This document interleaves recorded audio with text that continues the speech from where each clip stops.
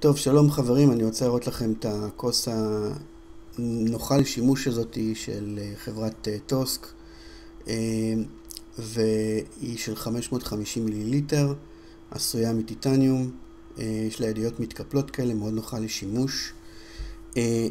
כמו שאמרתי, 550 מיליליטר, משקל שלה הוא 100 גרם יחד עם המכסה. ו-80 גרם בלי המכסה. עכשיו, טיטניום זה חומר שאפשר לשים אותו באש, אפשר לבשל עליו, הוא לא מתעוות, לא משנה את הצורה שלו.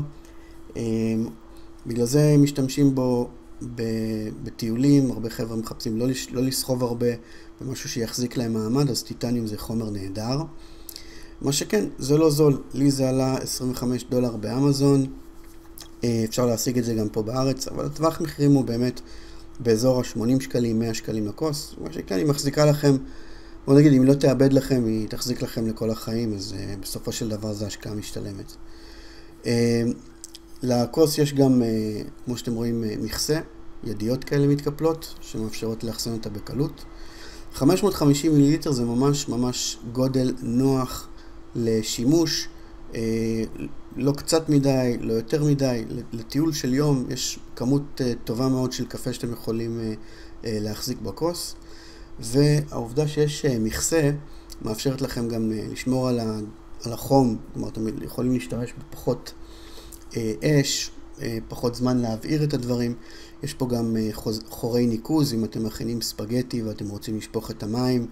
או פסטה או משהו מהסוג הזה, ואתם רוצים לשפוך את המים, יש לכם חורי ניקוז, והמשולש הזה, משולש הברזל הזה, מאפשר לכם לפתוח את המכסה בלי להיכבות.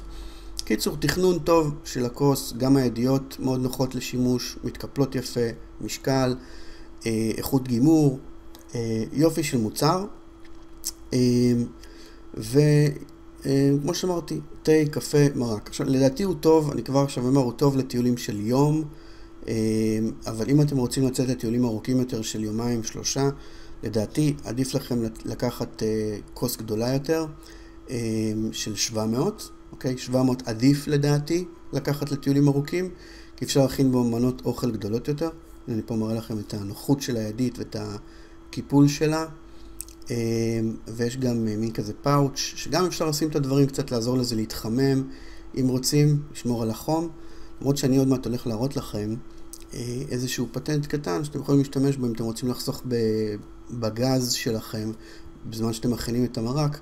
אז אתם רואים, יש לי פה מין כזה אה, חתיכת קרטון שכבר עשיתי ניסויים איתה ובאמת זה, זה שומר על החום היטב ואם אתם משתמשים באטריות או אפילו פסטה או אורז אפילו ואתם אה, שמים את הקרטון הזה ושמים את הקרטון מעל ואז אפילו אחרי שהמים רותחים, אתם נותנים לזה ככה להישאר כמה דקות, ואתם יכולים לחסוך לעצמכם אה, גז בשטח, אה, ובכל זאת לבשל. אז זהו, אני מאוד מאוד מרוצה מהכוס הזאתי. אה, ממליץ לכם, כמו שאמרתי, 700 אם אתם יוצאים לטיולים ארוכים, אבל 550 זה בהחלט, הנה פה אני מראה לכם את המרק פטריות שאני במקרה באותו יום הכנתי. אז זהו, תודה לכם על הצפייה, ונתראה בווידאו הבא.